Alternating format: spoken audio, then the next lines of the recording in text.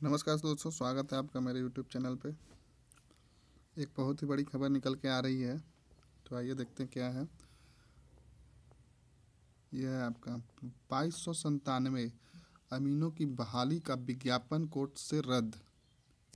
ये जो बहाली प्रक्रिया होने वाली, हो रही थी, जिसका कि डिटेल मैं अभी नीचे बताऊँगा, बाईस सौ संतानवे अमीनों की बिहार में उसे रद्द कर दिया गया है।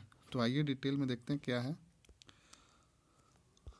पटना हाईकोर्ट ने अमीन के बाईस संतानवे पदों पर होने वाली नियुक्ति के लिए प्रकाशित 18 नवंबर 2018 के विज्ञापन को निरस्त कर दिया है।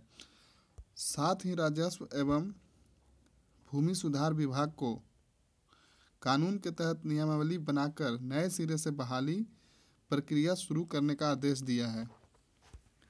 न्यायमूर्ति ज्योति चरण तथा न्यायमूर्ति अरविंद श्रीवास्तव की खंडपीठ ने गुरुवार को अवध किशोर की ओर से दायर अर्जी पर सुनवाई के बाद यह आदेश दिया है। अदालत ने अपने आदेश में बिहार अमीन संवर्ग नियमावली 2013 तथा Bihar amin cadre amendment rule 2016 के अलावा Bihar amin cadre amendment rule 2017 को निरस्त कर दिया है। तो ये जो बहाली प्रक्रिया थी, उसे निरस्त कर दिया गया है और ये बहाली प्रक्रिया को पुनः नए सिरे से करने के लिए बोला गया है। तो ये आप लोग देख लीजिए बहुत ही इम्पोर्टेंट है। जो नवंबर में आया था उसे रद्द कर दिया गया है। तो अभी नए सिरे से बहाली के लिए अभी आपको और इंतज़ार करना पड़ेगा।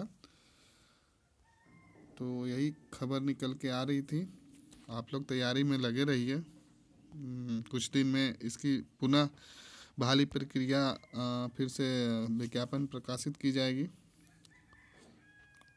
तो इसको आप लोग देखिए, अपने फ्रेंड के साथ शेयर कीजिए।